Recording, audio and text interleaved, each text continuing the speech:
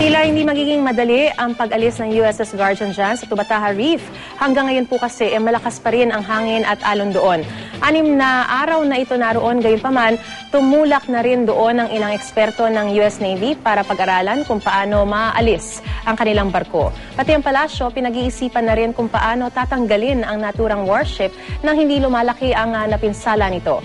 Ayon sa Tubataha Management Office, hindi naman gaanong malaki ang pinsala sa Coral Reef pero buong barko na ang nakasadsad doon.